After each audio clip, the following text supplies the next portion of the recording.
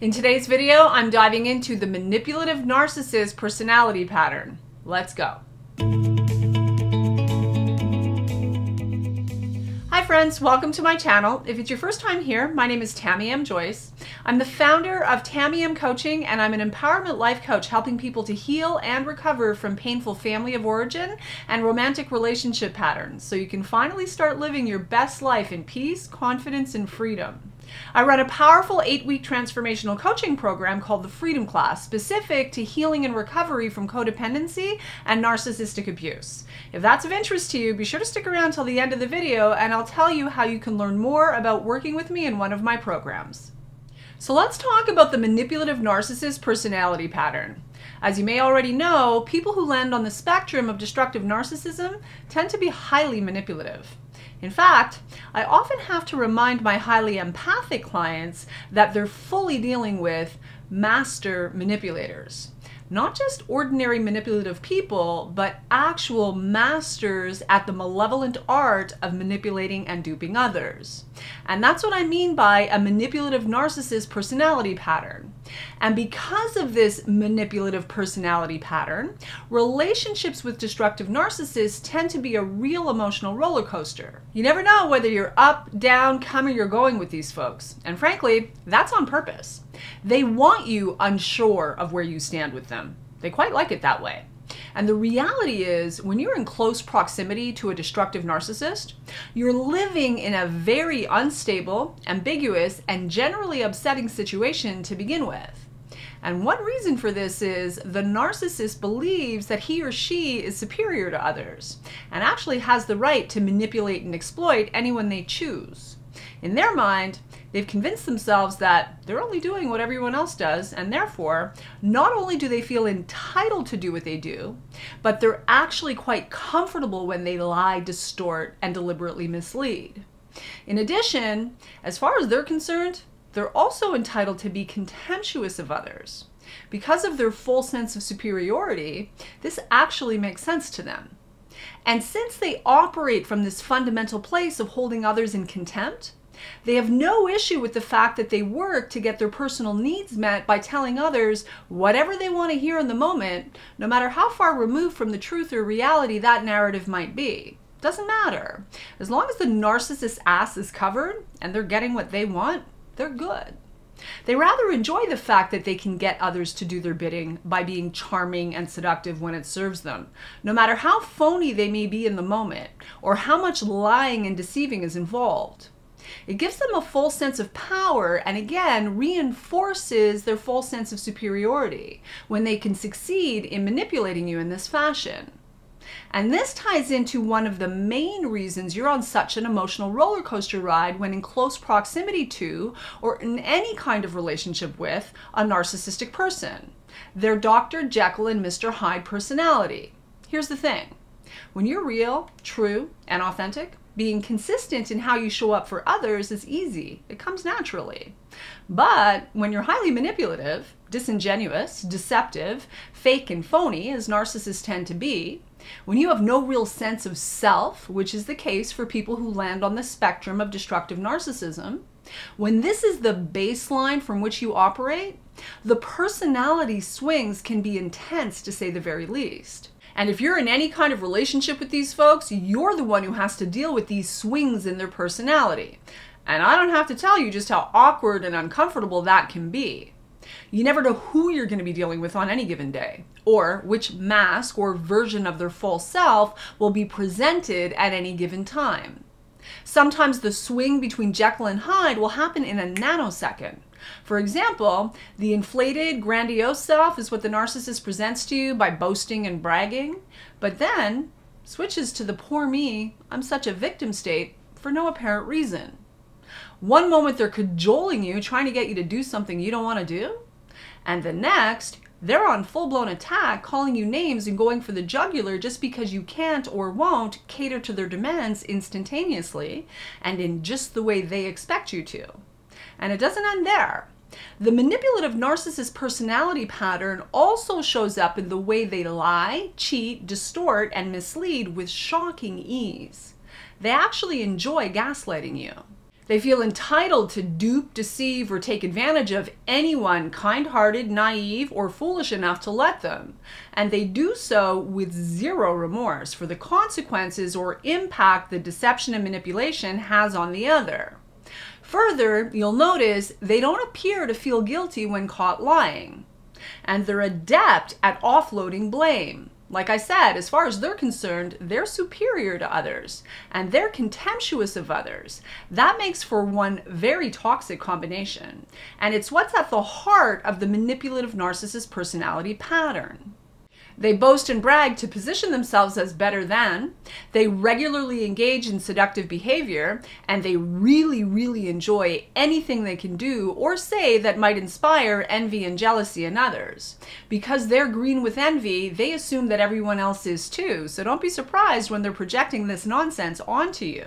Your job is to see it for what it is and keep your distance. They're showing you who they are. It's going to be in your best interest to believe them. Have you ever observed small children at play, making up rules as they go along, and of course, rules that favor them?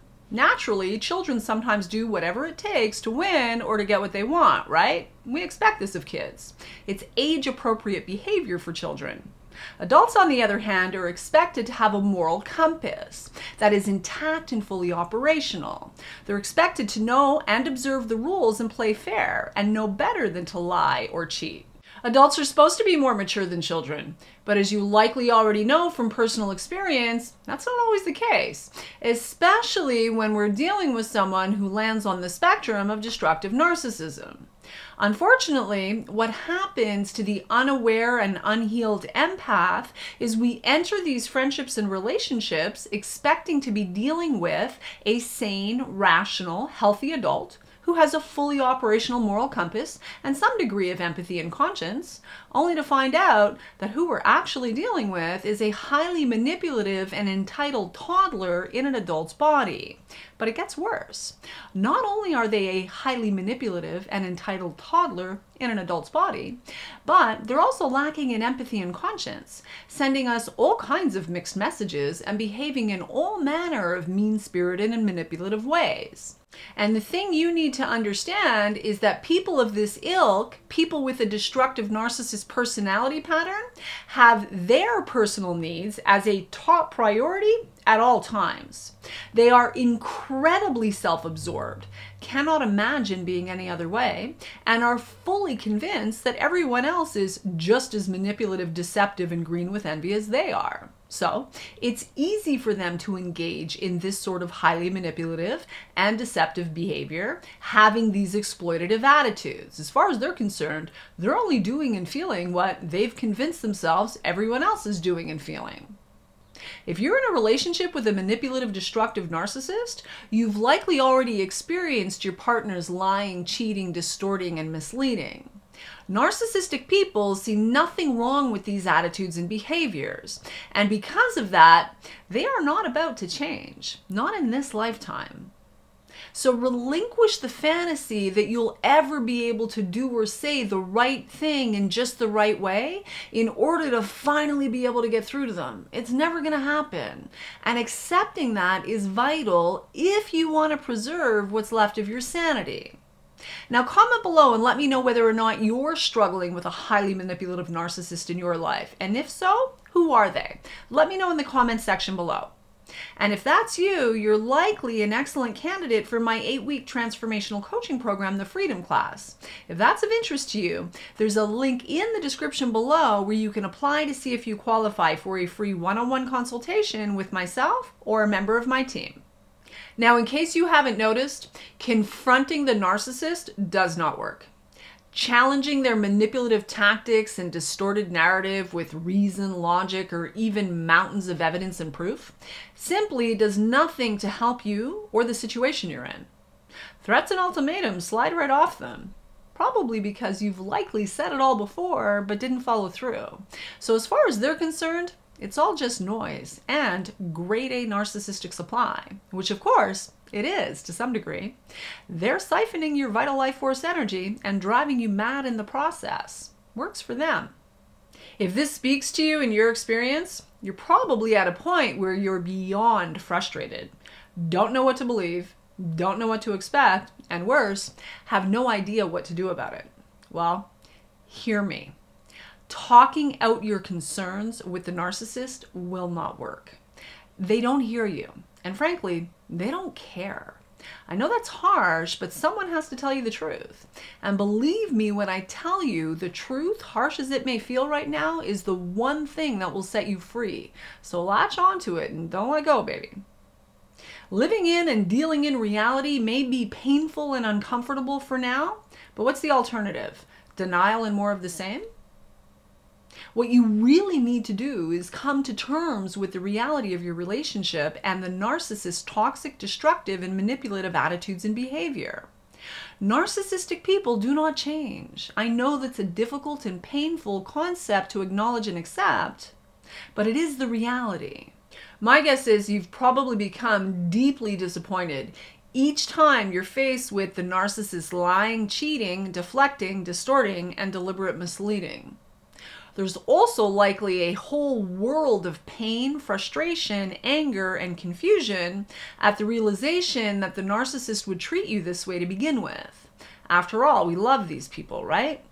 And we show up with goodwill and good intent, so why can't they? Because they're not wired the way you and I are. They are fully fundamentally and constitutionally incapable of showing up with your heart, your values, your moral compass, and your standards. It's not who they are, not in this lifetime. Your best strategy is going to be to do what I said earlier. Accept the fact that narcissistic people will do whatever he or she wants to do. Whatever he or she feels will meet their needs, not yours, theirs. They'll do and say whatever it takes to cover and save their own ass, protect their dirty little secrets and their dirty big secrets. Your needs, your well being, your best interest aren't even on their radar. Narcissists are always going to do whatever they feel will serve them in the moment. And the very real effect, impact, or consequence on you and your well being doesn't even enter their mind. It's not even a consideration for these people. So accept and understand that the majority of the time what the narcissist is doing or saying has little, if anything, to do with the truth, and therefore is going to need to be verified. Trusting people who have shown you repeatedly in big and small ways that they can't be trusted is a good way to not only get hurt, but get sick. So stop projecting your own trustworthiness onto people who are anything but trustworthy. From there, your work is to protect yourself, support yourself, and do whatever you need to do to reduce the negative impact that their destructive personality pattern has on you. In other words, deal with your own distressing feelings, learn to meet your own needs in healthy ways, and do your own work. Not much changes for us until we become willing to do the healing and recovery work necessary to inoculate ourselves from this type of emotional and psychological manipulation. But when we do that work, everything changes and for the better. Fast. And with that, I'm going to call it a wrap, but don't stop now. I have well over a hundred more videos right here on YouTube for you to watch to help you better understand the detrimental effects of narcissistic abuse, and more importantly, learn what you need to do now to heal from the abuse so you can start living your best life in peace, confidence, and freedom. And if you want to go deeper with me, go to tamiemcoaching.com and learn about my tried and true process garnered over decades of experience and learn how you can become a client.